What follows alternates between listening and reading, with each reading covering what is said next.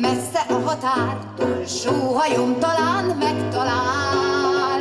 Drágám, elsuttogom százszor, hogy a szívem vár, újra vár. A 30-as, 40-es évek filmcsillaga Karádi Katalin igazi díva volt. Főszerepeket osztott rá a sors. Bugó hangja máig él az emberek emlékezetében. Gosztola Adél előadásában most megelevenedett a színpadon egy olyan magyar filmszínésznő, aki legendává vált.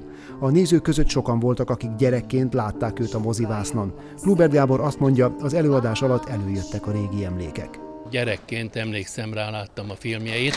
Tudtam azt, hogy ma este nem Karádi Katit fogom ismét látni, de nagyon-nagyon mutatós, szép színésznő volt, aki játszotta, gyönyörűen, eszköztelenül, gyönyörű szépen magyarul, énekelt is, beszélt is, és nagyon tetszett. Visszahozta azt a régi hangulatot, a háborúst is sajnos, mert azt is átéltük, de egyébként nagyon-nagyon szép összeszedett műsor volt. Gosztola Adél 20 éve tagja a Nyíregyházi Móricz Zsigmond Színháznak, drámai szerepekben kiemelkedő, Shakespeare és Sophocles tragédiáiban emlékezetes alakításokat nyújtott.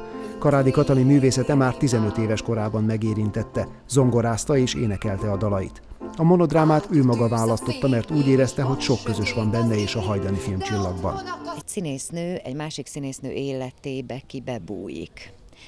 Néha a Gosztola Adél van a színpadon, néha a Karádi Katalin, néha a Gosztola Adél, mint megpróbál valamit utánozni a Karádi Katalinból, aztán meg néha nem próbál meg utánozni. Tehát nagyon összetett, egy kicsit ilyen kibe, kibeugrálós szerepjáték. A Sátoralja Újhelyi Színházi Fesztivál augusztus 12-ig várja a közönséget. Fellépnek többek között a Kuckó művésztanya, a Szabad Ötletek Színháza, a Fordens Stúdió és a Budapesti Utca Színház művészei.